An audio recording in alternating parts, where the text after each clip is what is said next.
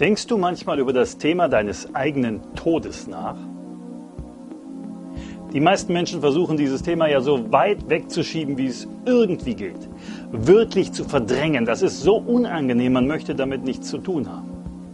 Und eine klassische Standardantwort ist natürlich, mit dem Tod ist alles aus.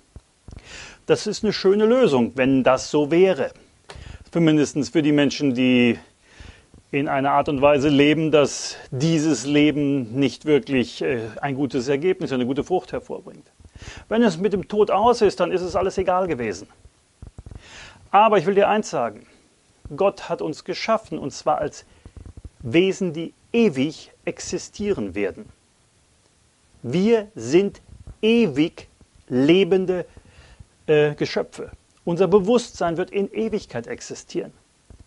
Wir sind nicht Kreaturen, die mit dem Tod ähm, aufhören. Da ist nicht ein Ende, das ist nur ein Schritt in die Ewigkeit hinein.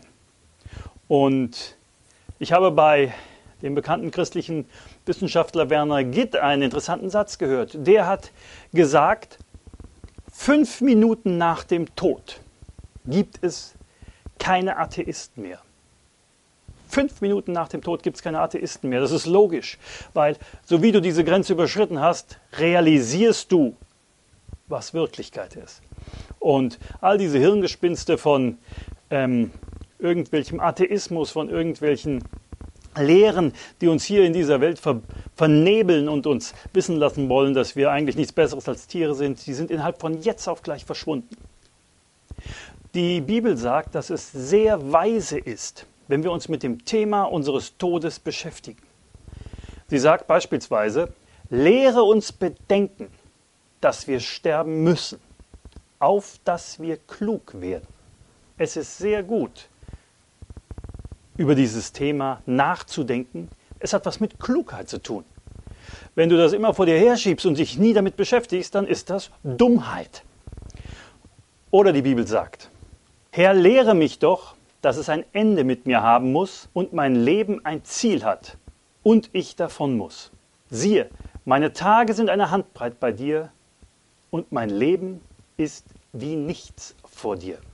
Ich lade dich ein, dass du deine Bibel nimmst und über das Thema Ewigkeit wirklich nachdenkst. Es ist absolut notwendig, dieses Thema in deinem Leben geklärt zu haben. Es ist das Wichtigste, was es überhaupt auf dieser Erde zu klären gilt. Weißt du, wir beschäftigen uns mit so vielen Dingen, die zweitrangig, drittrangig sind, aber das ist das Allerwichtigste, dass du weißt, was nach dem Tod auf dich wartet. Es ist völlige Narretei, irgendwie gerade in diesem Bereich so ein diffuses, ja, mal gucken, wie es kommt, äh, Glauben zu haben, sondern du musst unbedingt wissen, was wartet auf dich. Und Gott bietet dir an, dass er sagt, Du kannst in meine ewige Herrlichkeit eingehen oder du kannst an den Ort der Finsternis gehen. Er bietet dir das heute an und du hast die Möglichkeit, jetzt in diesem Leben die Entscheidung zu treffen, damit du weißt, was nach dem Tod auf dich wartet. Der Himmel wartet auf dich, wenn du die richtige Entscheidung triffst. In dem Sinne, Gott hat mehr für dich.